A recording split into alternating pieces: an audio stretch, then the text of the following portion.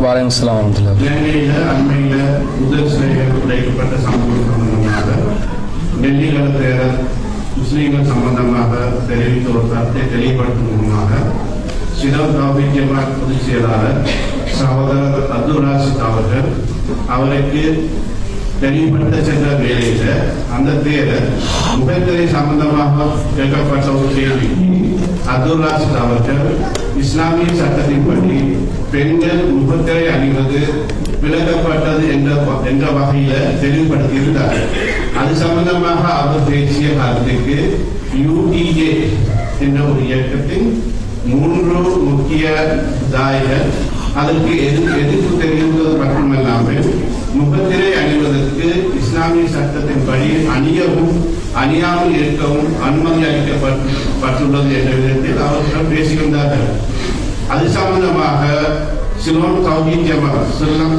சிலோன் தௌஹீத் ஜமாத்தை யூடிஏஓ அல்லது உலக சபையோ விவாதத்துக்கு அழைத்தால் நீங்கள் போவதற்கு தயாராக தற்போது ஏற்பட்டிருக்கக்கூடிய ஒரு பரபரப்பான ஒரு செய்தி என்னவென்றால் பெண்கள் முகத்திரை அணிவது கூடுமா கூடாதா என்கிற ஒரு சர்ச்சை மீண்டும் பெரிய ஒரு வாத பிரதிவாதத்திற்கு உள்ளாகி இருக்கிறது.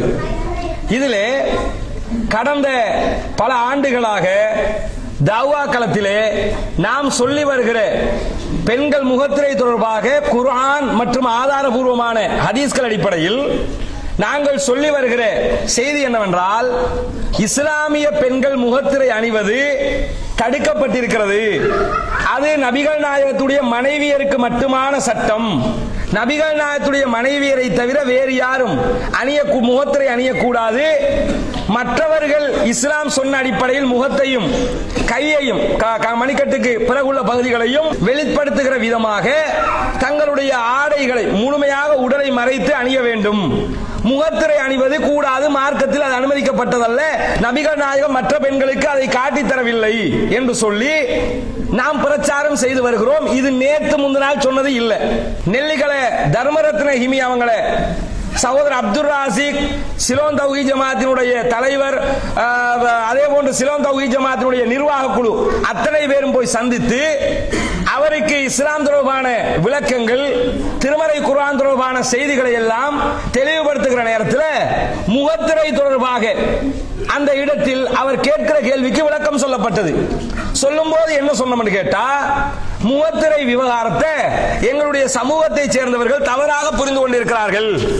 பெண்கள் முகத்தை மறைக்க வேண்டும் என்கிற எந்த ஒரு கடமையும் சாதாரண பெண்களுக்கு இஸ்லாம் சொல்லவில்லை. அது சொல்லப்பட்டதெல்லாமே நபிகளாயத்துடைய மனைவிமாருக்கு என்று சொல்லி ஆதாரங்களை குறிப்பிட்டு நாம் வெளியிட்டிருக்கிற சிங்கள மொழியிலான குர்ஆன் மொழிபெயர்ப்பை எடுத்து சுட்டிக்காட்டி அதிலே சகோதரர் அப்துல் ராசிக் அவங்க தெளிவுபடுத்துகிறார்கள். இந்த வீடியோ வெளியிடப்பட்டதோடு தான் என்ன செய்யறாங்கன்னு கேட்டா ஆ, இவர்கள் சமூகத்தை காட்டி கொடுத்து விட்டார்கள். இப்படி எல்லாம் பேசிவிட்டார்கள். அப்படி எல்லாம் பேசிவிட்டார்கள். இஸ்லாம் தெரியுமா அது தெரியுமா இது தெரியுமா சொல்லி ஆதாளுக்கு குரல் கொடுக்க ஆரம்பித்தார்கள். இதிலே விவாதம் தொடர்பான செய்தியை சொல்வதற்கு முன்பதாக இன்னொரு செய்தியை நான் பதிய வைக்க விரும்புகிறேன். அதாவது பெண்கள் முகத்திரை அணிவது பெண்களுக்கு இஸ்லாமிட்ட கட்டளை அல்ல என்று நாம பிரச்சாரம் பண்ணி வர்றோம். அதுல எந்த மாற்று கருத்தும் கிடையாது. இது பல ஆண்டுகளாக நாம் சொல்லி வருகிற கருத்து. தாராளமாக விவாத களத்தில் அதை நிரூபிக்க தயார். அதுல எந்த மாற்று கருத்தும் இல்லை. அது சிங்கள மொழியிலோ தமிழ் மொழியிலோ எந்த மொழியிலோ நிரூபிக்க தயார். ஆனா இப்ப நாம சொன்னதோட வானத்துக்கும் பூமிக்கும் குதிக்கிற சில சகோதரர்கள் இதுக்கு முன்னாடி சில பேர் சொன்னாங்க. அப்ப எங்க போனாங்கன்ற ஒரு கேள்வி எழுகுது. அகில ஜம்மியத்துலமாவினுடைய பிரதிநிதியாக தரண தொலைக்காட்சியில் கலந்து கொண்ட சகோதரர் தெஹ்லான் அவர்கள் தரண தொலைக்காட்சி நிகழ்ச்சியில் அலுத் பார்லிமெண்ட் என்கிற நிகழ்ச்சியில சகோதரர் தெஹ்லான் அவங்கள்ட்ட ஒரு கேள்வி முன்வைக்கப்படுகிறது. முஸ்லிம் பெண்கள் முகத்திரை அணிவது தொடர்பாக இஸ்லாத்தினுடைய நிலைப்பாடு என்ன என்று சொல்லும்போது சிங்கள மொழியில தெஹ்லான் சார் என்ன சொன்னாரு? இஸ்லாமிய பெண்களுக்குரிய சட்டம் இல்லை என்றாரு முஸ்லிம் பெண்கள் முகத்திரை அணிவது மார்க்க சட்டம் இல்லை என்றாரு அன்னைக்கு யாருமே சமூகத்தை காட்டி கொடுத்ததாக தெஹ்லான் சேரையோ அல்லது ஜம்யத்துலமாவையோ சொல்லலையே. ஏன் சொல்லலன்னு கேட்டா சொன்னது ஜம்மியத்துலமாக்காரங்க தானே. அப்ப நாம ஒரு வீடியோ போட்டோம் நிலைப்பாடே இல்லாத ஜம்யத்துலமான்னு சொல்லி. ஏன் தெரியுமா? சிங்கள மொழியில் அவங்க ஒரு கிரந்தைய போட்டிருக்கிறாங்க. கிரந்தை என்று அவங்க சொல்லுவாங்க? ஒரு கிரந்தம் வெளியிட்டிருக்கோம்ங்கிறாங்க ஒரு அஞ்சு புக்குன்னு நினைக்கிறேன். இலக்கத்தை உண்டாக்குகிற விதமாக மாற்று மாத்தவர்களுக்கு தெளிவு கொடுக்கிறோம் ஐந்து புத்தகம் வெளியிட்டிருக்கிறோம் வெளியிட்டிருக்கிறாங்க. அந்த புத்தகத்துல நாங்க இதையே தெளிவுபடுத்தி இருக்கிறோம் ஜெகதான் சார் அந்த அந்த வீடியோலையும் சொல்லுவாரு. அந்த புத்தகத்தை நீங்க எடுத்து பாத்தீங்கன்னா அதுல அவங்க புத்தகத்துல என்ன சொல்லுவாங்கன்னு கேட்டா இப்படியும் கருத்து இருக்கிறது அப்படியும் இருக்கிறது இப்படியும் இருக்கிறது முகத்தை மூடக்கூடாது என்றும் சொல்லுகிறார்கள். இப்படி கருத்துக்களை சொல்லுவாங்க. இதே நேரத்தில் ரிசி முஃப்தி கேட்கும் போது சகோதரர் ரிசி முஃப்தி அவங்க விடிவெள்ளி பத்திரிகையில கொடுத்திருந்த பேட்டியில தலைப்பு செய்தியா என்ன போட்டான்னு கேட்டா பெண்கள் முகத்தை மூடுவது வாஜிபு. துறக்கிறது ஹராமு. முகத்தை மூடித்தான் ஆகணும்ன்றாரு. அவங்க இணையதளத்துல போய் பாத்தீங்கன்னா மூட முடியும் திறக்க முடியும்னு எழுதி வச்சிருக்காங்க ஜெகலான் சேட்ட கேட்டா மூடுவது கூடாதுங்கிறாரு. இப்ப உலமா சபையினுடைய நிலை என்ன? மூடுவது கூடுமா கூடாதா? அல்லது மூடலாமா மூடக்கூடாதா? அல்லது வாஜிபா வாஜிப் இல்லையா? என்ன நிலை சொல்றீங்க? சிங்கள மக்கள்கிட்ட ஒண்ணு முஸ்லீம்கள்கிட்ட வேற ஒண்ணு நம்ம நம்மளை பொறுத்தவரையில இந்த இரட்டை நிலையெல்லாம் கிடையாது. முஸ்லீம்கள்ட்டே பகிரங்கமா சொல்லி கொண்டு மார்க்கத்துல இல்லம்மா நீங்க எல்லாம் தப்பா புரிஞ்சுக்கிட்டு இருக்கிறீங்க. நபிகள் நாயத்துடைய காலத்துல நபிகள் நாயத்துடைய மனைவியரை தவிர வேறு எந்த பெண்மணியும் முகம் மூடியதாக ஒரு செய்தி கூட கிடையாது. அத்தனையுமே நபிகள் நாயத்துடைய மனைவியர் தொடர்பாக வரக்கூடிய செய்திகள். மற்ற பெண்கள் அத்தனை பேரும் முகத்தை திறந்ததற்கான ஆதாரங்கள் தான் கிடைக்கிறது. நேரடியாக முஸ்லிம் பெண்கள் முகத்தை மூட வேண்டும் என்பதற்கு எந்த ஆதாரத்தையும் அவர்களால் முன்வைக்க முடியாது. இன்னும் சொல்ல போனால் காட்டி கொடுத்தோம் காட்டி கொடுத்தோம்னாங்க. நாம வெளியிட்டு இருக்கக்கூடிய திருமறை குரான்ல சிங்கள மொழிபெயர்ப்பு தமிழும் இருக்கிறது. இந்த ரெண்டையுமே எடுத்து பார்த்தா பக்கம் பக்கமா ஆதாரங்களை கொடுத்து வச்சிருக்கிறோம். அள்ளி கொட்டி இருக்கிறோம். பெரும்பாலும் முகத்திரை தொடர்பாக எந்த ஆதாரங்களும் அல்லாவுடைய உதவியாலே மிஸ் ஆகாத அளவுக்கு எல்லாத்தையும் போட்டு வாதம் பிரதிவாதம் எல்லாத்தையுமே தெளிவுபடுத்தி இருக்கிறோம் இதுதான் முடிவு அப்படின்னு சொல்லி. இதை புரிஞ்சுக்கிறாம என்ன செய்யறாங்கன்னு கேட்டா சிங்களாக்கிட்ட போய் சொல்லிட்டாங்களே. காட்டி கொடுத்து விட்டார்கள். சிங்கள சமூகத்தை திருப்திப்படுத்த போனார்கள்ங்கிறாங்க. அப்துல் வது சகோதரர் அப்துல் வது ஜிப்ரி அவங்க பேசும்போது சிங்கள சமூகத்தை திருப்திப்படுத்த இவர்கள் இந்த பத்வாவை சொன்னார்கள்ங்கிறாங்க. அப்ப தெஹ்லான் சார் சிங்கள சமூகத்தை தான் திருப்திப்படுத்த போனாரோ? அந்த நேரத்தில் இந்த யூடிஜே இடிஜே எல்லாம் எங்க போனாங்க? அப்ப யாரும் பேச வரலையே. அது மட்டும் இல்லாம பக்கத்துல இது இந்த இந்த அவர்கள் வெளியிட்ட வீடியோவுக்கு ஜமாத் சார்பாக அவங்க பதினெட்டு நிமிஷம் மூணு பேர் பேசியிருக்கிறாங்க. ஜமாத் சார்பாக சகோதரர் சில்மி ரஷீதி அவங்க பேசிய ஐம்பத்தி ஏழு அல்லது ஐம்பத்தி ஒன்பது நிமிடங்கள் ஓடக்கூடிய முழு விளக்க வீடியோ அவர்களுக்காக நாங்கள் வெளியிட்டிருக்கிறோம். அவர்கள் என்னென்ன வாதங்களை முன்வைத்தார்களோ அதுக்கெல்லாம் வெளியிட்டிருக்கிறோம்.